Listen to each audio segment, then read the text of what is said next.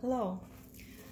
Uh, when I start working uh, with the plastic yarn, uh, I got an idea how to join two ends together. So, and I would like to share with you. So when you um, like finish one ball of yarn and you would like to um, connect another one, what do I do to get a better result?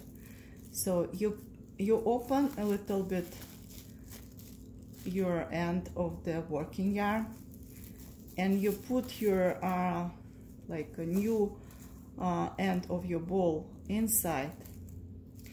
And then you wrap around a little bit like this and then continue to work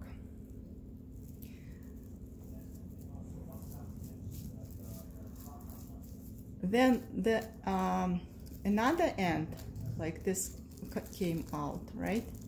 So you open your uh, new um, yarn again like this and you put this loose end end inside of the yarn. And then you wrap it around again like this.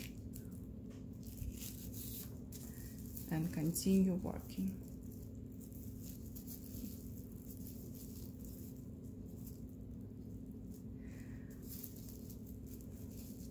So like this, you will get the best result because your work will be clean and no loose ends.